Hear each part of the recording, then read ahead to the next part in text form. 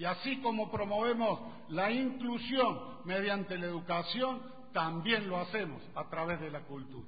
Lo hacemos porque sabemos que la cultura es la historia, la identidad y la memoria de los cordobeses.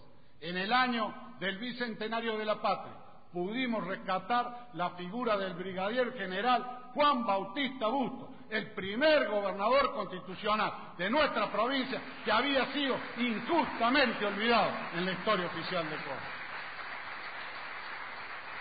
En el mismo orden, seguimos trabajando en el centro histórico de la capital y en la puesta en valor de nuestro camino real, lugar por donde pasó la historia de la patria.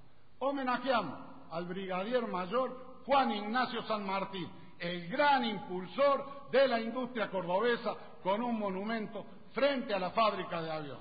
Recuperamos también otro espacio para la memoria que se suma al de la Perla y al de la ex 2 en el predio donde funcionó el centro clandestino de detención Campo de la Ribera, en los años del terrorismo de Estado que tanto daño nos hizo a los argentinos. Creamos también la Casa de la Historia del Movimiento Obrero Cordobés, donde desarrolló su actividad la CGT, para honrar una dirigencia sindical que luchó por la libertad y la justicia social en nuestra Córdoba y que sucede allí donde hoy está la casa de la historia del movimiento obrero cordobés. Y estamos incluyendo también en el edificio de homenaje al Bicentenario la nueva sede del Archivo Histórico Provincial, obra que finalizará antes que termine este año.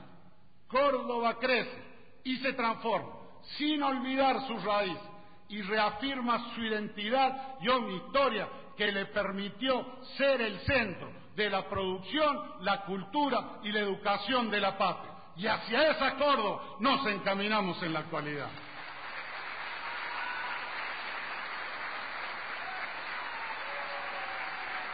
Estamos recuperando el orgullo de ser cordobés.